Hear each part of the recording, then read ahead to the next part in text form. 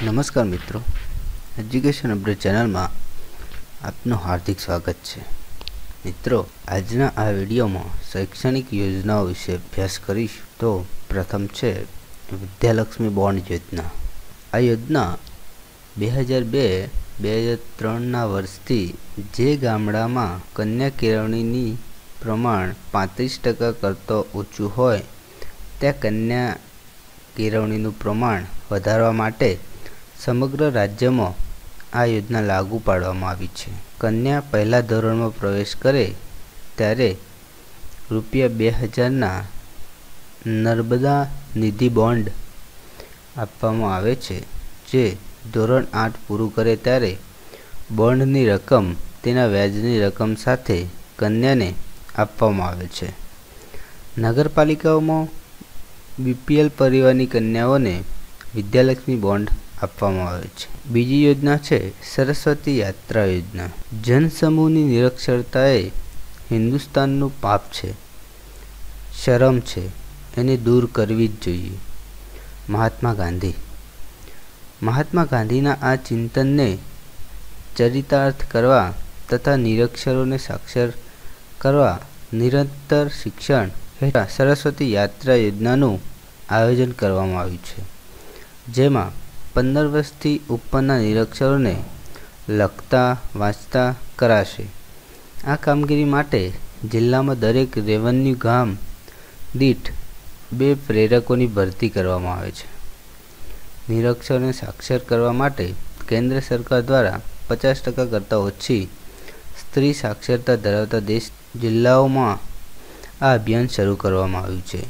આ માટે ઓનલાઈન પરીક્ષા ભરતી કરાયેલ પ્રેરકો ગામનો સર્વે કરી પંદર વર્ષથી ઉપરના નિરક્ષરોને શોધી એમની યાદી બનાવશે. ત્યારબાદ તેમને દસ પંદરના નાના નાના ગ્રુપમાં વહેંચી અક્ષર જ્ઞાન આપવામાં આવશે.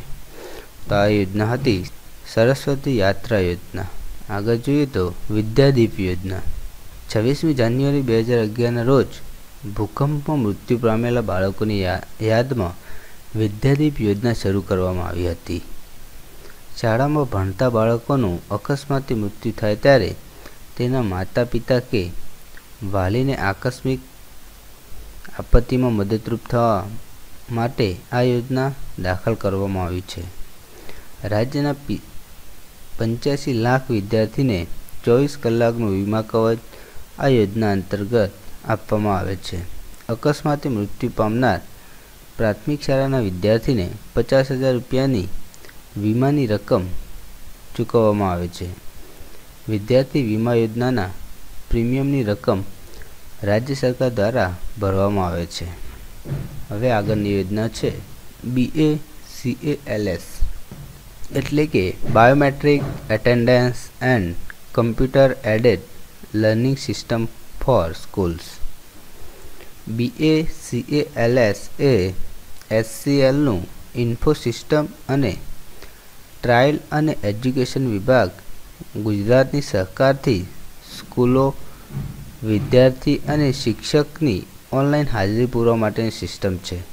આ માટે રાજ્ય સરકાર દ્વારા ટ્રાયલ એરિયામાં આ સિસ્ટમ શરૂ કરવામાં, શરૂ કરવા માટે ગ્રાન્ટ આપવામાં આવી છે. હાલમાં આ પ્લાન નીચે સાત હજાર સ્કૂલો છે, જેમાં એક હજાર સ્કૂલો ટ્રાયલ ડિપાર્ટમેન્ટ હસ્તક અને છ હજાર સ્કૂલો એજ્યુકેશન ડિપાર્ટમેન્ટ હસ્તક છે. તો મિત્રો, આ યોજનાઓ ખૂબ જ ઉપયોગી છે. તો વીડિયો જોવા બદલ ખૂબ ખૂબ આભાર.